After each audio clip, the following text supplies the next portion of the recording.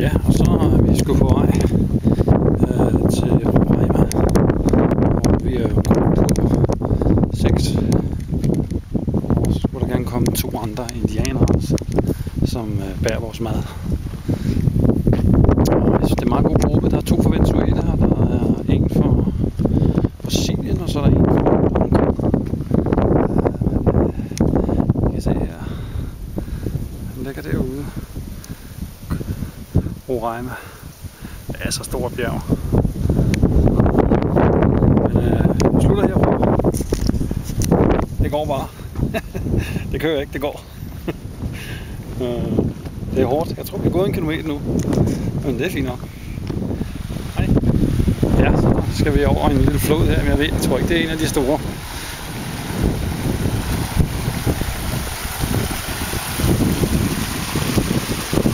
Og du kan drikke vandet.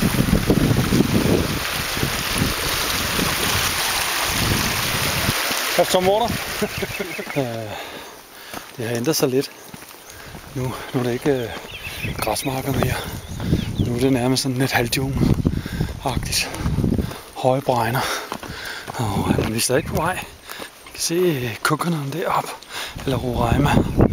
Og, øh, hvad er det? Det er en hård tur. Der er 12 km i dag. Jeg tror, vi har gået 6 eller sådan noget. Så har vi også nogle med venezuelsk par der. Hun skvatter sådan noget i det. Jeg håber sgu de klarer det, ellers så skal de tilbage igen. Nå, skide med det. Men øh, nu går det snart ned ad bakke, og så går det op igen. Så, men der er også et stykke vej deroppe endnu. Der er lang vej. Men øh, så er det bare. Øh, ham der går foran, han hedder Pim. Ham, jeg skal sove med i nat. Altså- han er fra Brasilien. Flink fyr. Ingen problemer med ham. Ja, det er Roy, min øh, guide. Ja, han var også lidt fuld i går, tror jeg. ja, han kvakler noget stadigvæk. Men øh, fin fyr.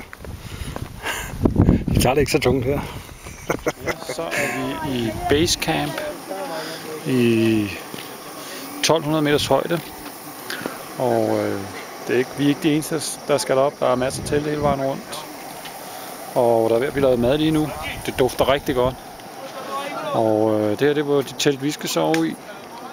Og hvis man, vi skal videre den vej i morgen der, og der har vi lige været nede og taget en dukker i en flod med en stort vandfald. Det var fandme godt. Så der fik vi rigtig bruset os igennem. Efter 12 km. 12 km, det er den vej, vi kommer fra. Og i morgen, der skal vi over to floder, og så skal vi gå 10 km. Men øh, det går godt her i Venezuela. Der er ikke nogen øh, overhovedet telefonforbindelse herude på øh, Gran Sabana. Øh, så de næste 6 dage, der kan jeg ikke få fat i nogen som helst.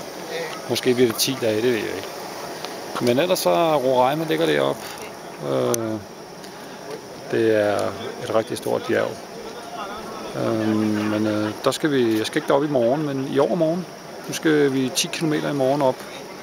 Og øh, hvad hedder det, have en ny lejr deroppe i 1600 meters højde. Og hvor vi så til sidst skal op i 2800 meters højde. Men øh, jeg slutter herfra. Kan I have en god dag? Hej. Der er vores guide ved at lave pandekager til os. Og de bliver så kogt i frityr. No lo meto en la bolsa, que iba a decir.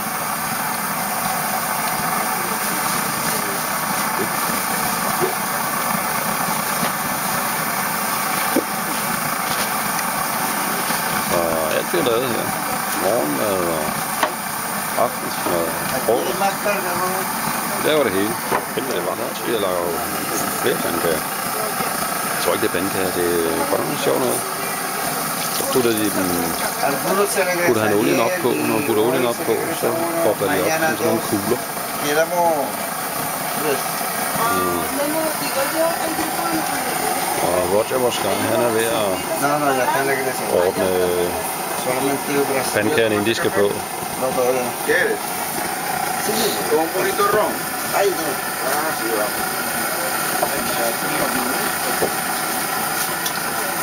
Nå, men slut herfra. Snart har noget morgenmad. Det ser lækkert ud. Det kan også være, det er frokost. I don't know. Mm. Ja, nu skal vi at putte alle mulige grøntsager og sådan noget. Det bliver sgu spændende, hvad vi skal have her til morgenmad. Men lækkert ser det ud. Jeg er på vej over den første flod. Ser godt ud, Roger. Las voy a amarrar por si acaso se me cae. Bueno, ponte las piedras, no See you, Roger. Bye bye. 10 km foran os. Og øh, to store floder, vi skal over. Vi har været over den ene. Og øh, så vi er gået øh, en halv time. Og vi kommer over den sidste flod der, så begynder der at gå opad. Vi skal gå cirka oh, 600 meter op. Så det bliver en lang dag. Og solen den skinner bare, mand, og den bager bare ned i hovedet på en. De har da slået, der kommer lidt regn i gang, men det gør der ikke. I kan lige prøve at se, hvor I skal op. Der, der hvor alle skyerne er. På Roraima. Det bliver fedt. Men øh, vi må hellere se at komme videre. Roy og kineseren der, hun, de render i forvejen. Men øh, jeg går og følger med dem. Det er ikke nogen problem. Bagved der går Elvadoris og Pimp fra Brasil. Nej, fra Venezuela. Så men, øh, det kører bare. Hvis I kigger ned her, så skal vi den vej her. Og så kommer der en flod dernede, vi skal over. Og så er der en sti på den anden side, vi skal op af. Og når så er gået cirka en halv time derover, så går der altså bare op ad bakke. Op til Roraima. Men vi skal ikke derop i dag. Vi skal op i morgen. Jeg håber fandme, at det bliver godt vejr i morgen også. Now we have a checkpoint. Roger, we have a checkpoint.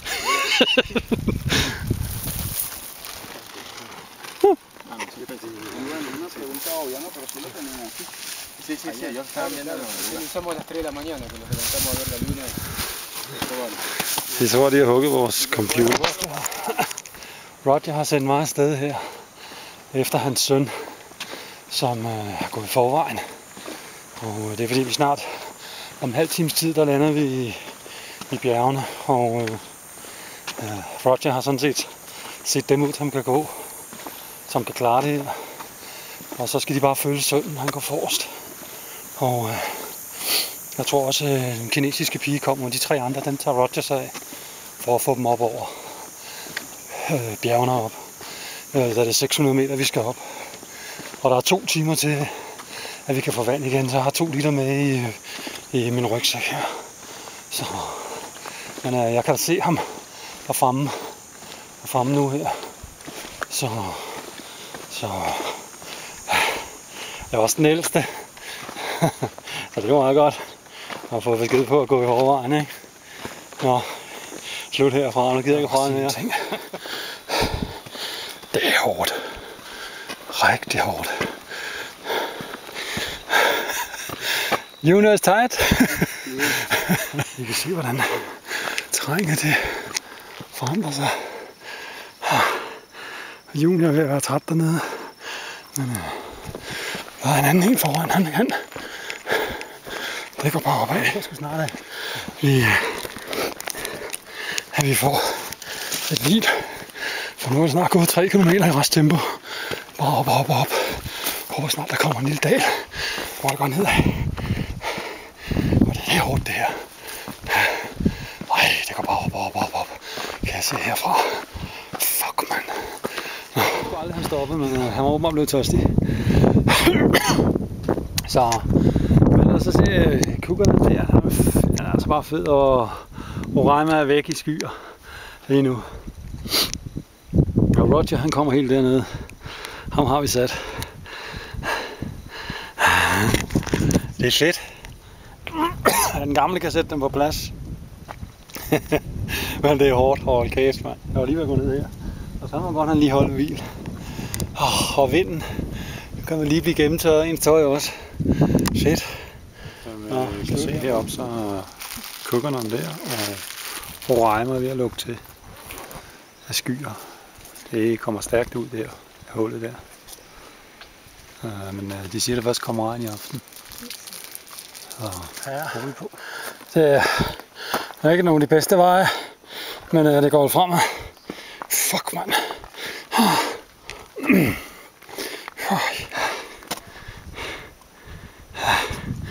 Det går bare op. Der er ikke rigtig nogen vej. Øh, det er den vej ned der, ikke? Jo. Men øh, jeg tror snart, vi er ved at være der. Men det kan jeg sagtens sige.